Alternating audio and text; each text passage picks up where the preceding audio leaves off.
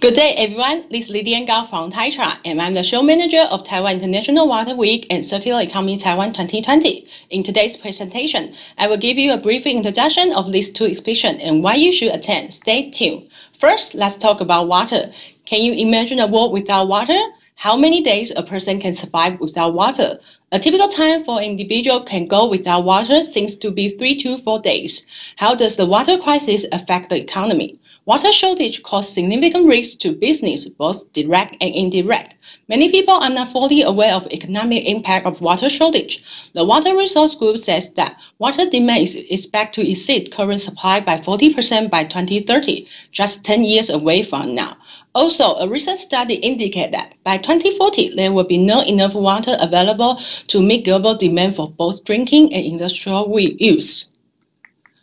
Also, a recent study indicated that by 2040, there will be not enough water available to meet global demand for both drinking and industrial use. The global water supply, treatment, and distribution sector is a critical enabler of our society. Without it, everything else in 69.8 trillion euro global economy will fail. The economic impact affects all business, but it is particularly severe for companies with intensive water usage, such as food and beverage manufacturers, refiners, electronic manufacturers, and power plants all of which rely on a continuously and reliable water supply for processing and cooling. We know that the industrial water consumption plays strange of what's limit water supply. The average person uses about 100 gallons of water per day. Every product that you buy requires water during the manufacture process. Here are some of the largest water consumers that are not obvious to the public. For example, approximately 39,000 gallons of water are required to produce a new car. Other notable products include nearly 37 gallons of water to produce ingredients to make a single cup of coffee and 8 gallons for a microchip.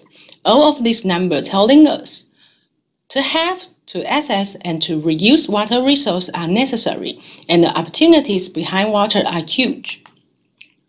We have talked so many about water. How about circular economy? Waste is just a misallocated resource and misperceived as just recycling.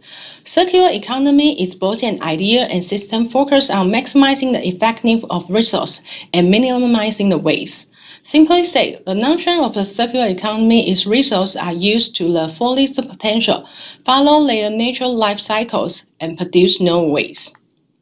Recognizing the limit of Earth's capacity, one big question remains. Where do we go from here, and who will lead us to the future? The answer might be found in Taiwan. Taiwan has announced a forward-looking infrastructure construction program that requires 8.1 billion US dollar government funding to improve water resource management by 2024. Meanwhile, seeking to advance the transformation and upgrade of Taiwan's industry, the 5 plus 2 innovative industry plans, which will serve as a central drive of Taiwan's industrial growth in the next era, and forge a new model for sustainable development and circular economy. Have you ever been to Taiwan? Now, please allow me to introduce Taiwan International Water Week and Circular Economy for you. This might be your reason to come here. As one of the most successful environmental exhibitions and the only water exhibition in Taiwan, TIWW will be held in conjunction with CE Taiwan from September 24 to 26, 2020 in Taipei World Trade Center Hall 1. The annual event gathers industrial, business, and governmental professionals from the global water and circular economy industry to share best practice, showcase the latest technology, and tap business opportunities. The exhibition covers a major exhibit area, including reclaimed water and treatment, transport and storage, green infrastructure, new business model, etc. These areas offer a comprehensive supply chain in both up and downstream, creating a professional trade platform. Besides exhibition and national pavilions, other special events like open ceremony, new products launch, one-on-one procurement meetings, and we also have two global forums offer you a chance to know about key issues affecting industry today. First, Water for the Future International Forum is organized by Water Resources Agency of Ministry of Economic Affairs. Taipei International Water Environment Forum is organized by Taipei City Government. To sum up, Taiwan International Water Week and Circular Economy Taiwan offers an excellent platform for domestic and foreign manufacturers and buyers to interact and exchange ideas with each other. We expect this event will upgrade Taiwanese talent and technology with more global insights. So if come to TIWW and CE Taiwan, you will find out what opportunities are in Taiwan for you. If you have any inquiries about TIWW and CE Taiwan, please email to tiww at taitra.org.tw or contact your nearby Taitra office. To know more about exhibition, let's take a look of 2019's recap.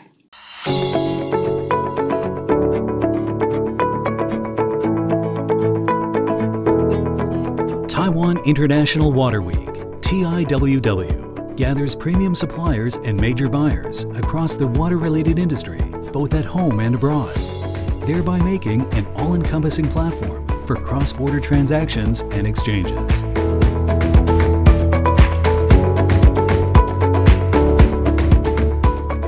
With reclaimed water treatment, water resources sustainability as its theme this year, the event brought together industry, government, and academia to present innovative technologies and comprehensive solutions in water-related areas.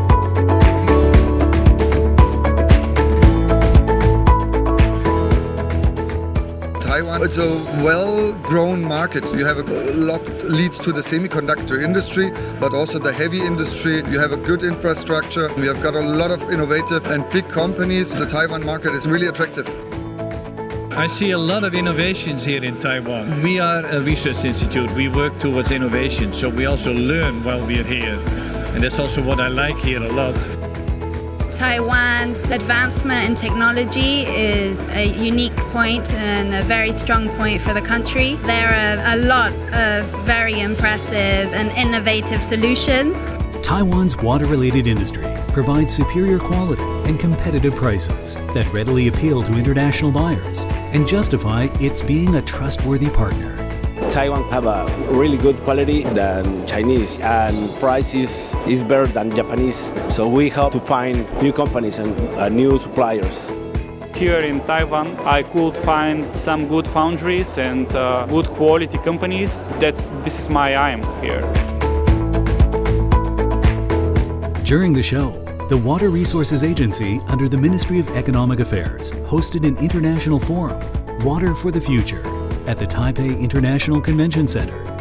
Specialists were invited to share experiences and cite examples while discussing ways to ensure water supplies in the face of climate change. Coinciding with the exhibition were a number of product launches.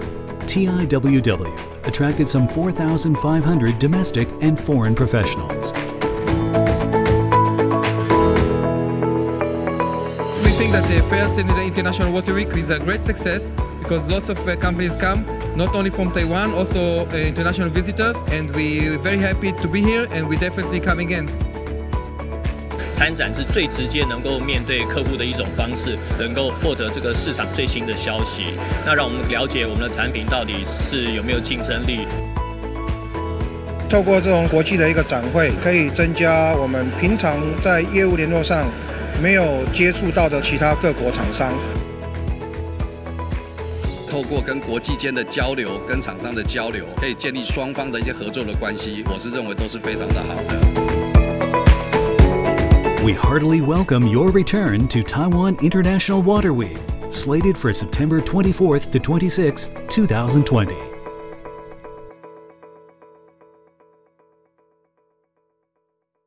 Looking forward to seeing you in Taiwan this September. Thank you.